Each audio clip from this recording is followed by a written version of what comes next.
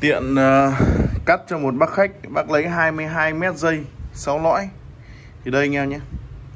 Đây xe 6 lõi của bên em là 6 lõi 2.5 anh em nhé. 6 lõi đủ 2.5 Đấy 2.5 này.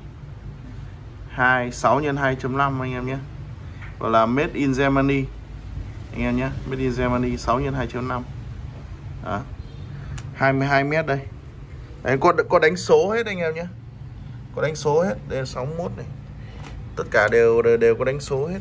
Từ uh, đầu này là 40 45 cho đến 67 đến cho đến đầu này là 67 anh em nhé.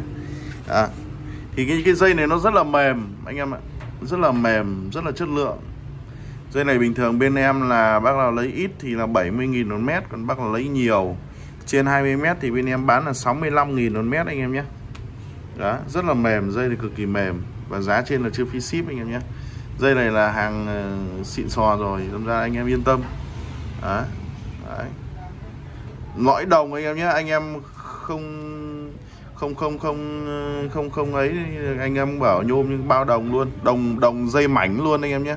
Chứ không phải là đồng đồng dây tơ đấy chứ không phải là đồng đồng dây to đâu anh em nhìn cái dây này. À, dây tơ luôn anh em nhé. Đây đấy cắt hết cho khách rồi. Đấy, em không gỡ nữa. Đó, con này thì em chuyên dụng dòng này để đánh kể cả. Tại sao em lại chọn 2.5 đây này.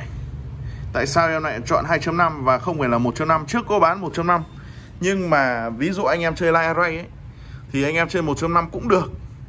Nhưng mà lại kèm thêm cả súp nữa anh em nhé lại kèm thêm cả súp. Ví dụ như là như đây là 6 lõi đúng không ạ?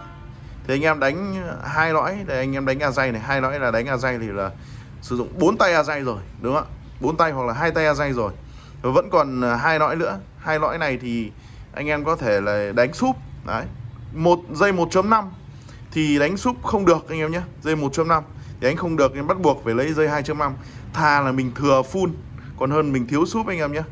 Đó thiếu súp nó rất là nguy hiểm, cái dây nó sẽ nóng và nó truyền tải cái cái cái công suất không đủ tới loa súp của mình nên bắt buộc mình dù là thừa full thì tiếng nó cũng rất là êm.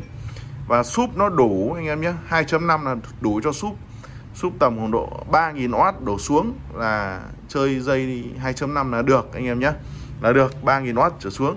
Thì anh em chơi dây 2.5 là được. Đấy, thì anh em có thể sử dụng cái dây này. Dây này nó to hơn cái ngón tay của em luôn. To hơn ngón tay anh em nhé. To hơn ngón tay anh em có thể nhìn cái ngón tay của em này bé hơn dây này. Đấy, dây 2.5 đủ anh em nhé. Đó, 6 x 2.5 ok chưa ạ? Xem đi.